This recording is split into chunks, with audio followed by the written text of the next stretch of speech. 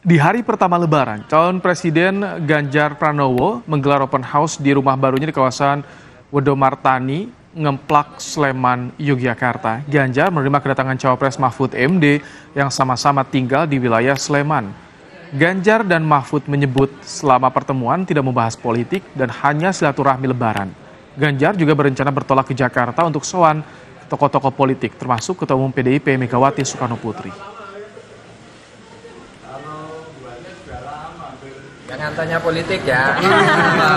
Jangan politik ini Pak. Ini lebaran. Mana kameramu? Terus kemanusiaan, jadi tidak ngomong politik. Ngobrol silaturahmi halal bihalal lah. Saya mau ke tempat beliau. Ada open house nggak? Enggak, nggak ada hari ini. Yang open sini, beliau ke sini jadi.